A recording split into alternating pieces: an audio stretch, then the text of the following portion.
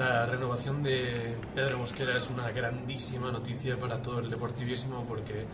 no solo se queda un futbolista de la ciudad, un futbolista que está a gusto en Coruña, que está rindiendo muy bien, sino que el Deportivo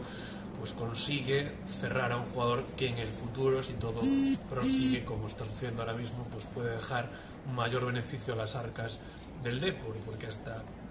la fecha Mosquera tenía una cláusula de rescisión de 4 millones de euros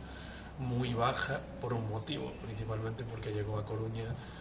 libre, sin recibir ningún tipo de prima de fichaje y por lo tanto su agencia de representación decidió que el Deportivo le fijara una cláusula de rescisión baja. Por lo tanto, ahora con su mejora de contrato, su aumento de la cláusula,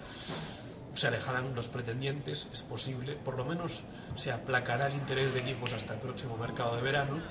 y después ya se verá. El Deportivo tendrá otras cartas para negociar, se igualará su situación a la de Lucas Pérez, que es algo que quería la directiva. La cláusula se estabilizará más o menos 20 millones de euros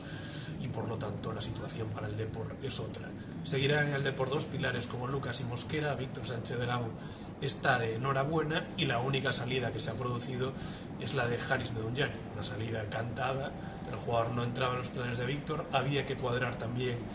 la masa salarial para cumplir los requisitos de la liga, por lo tanto, uno que se queda, Pedro, uno que se va, Haris, y en el Deportivo todo sigue igual y se espera